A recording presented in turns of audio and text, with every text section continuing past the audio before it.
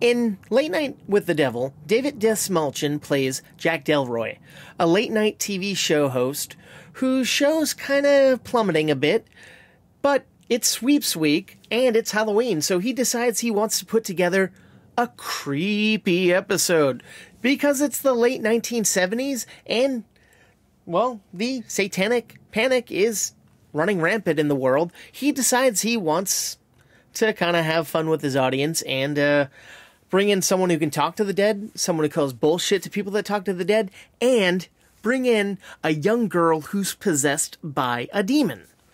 Now, it sounds like an odd premise for a movie, but it works so well. All right, so you're essentially watching a found footage type movie, but not gimmicky. This is kind of fun and a fresh spin on this genre. So you're watching the episode of this show that is supposed to be one of the most craziest episodes of a show anybody's ever seen. And you learn why later on, of course. And it's just like, oh, cool, I'm watching this late night show. And when they cut to commercial, we're seeing behind the scenes footage.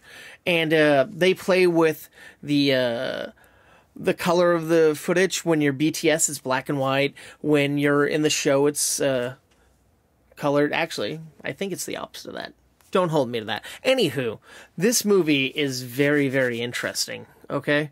So it takes a little bit to get very spooky, but they're building and building and building and pressure and creepy things are starting to happen and nobody really knows how to explain it. You don't know what's going on. The audience doesn't know what's going on and it's fantastic.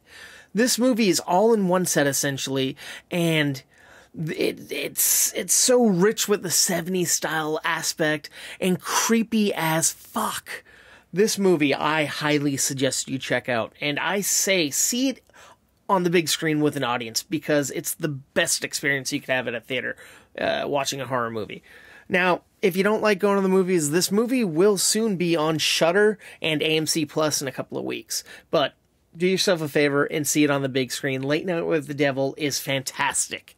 And check out my movie review podcast, Movie Toast News and Reviews. We're available wherever you get your podcasts. Thank you, and please stay toasty.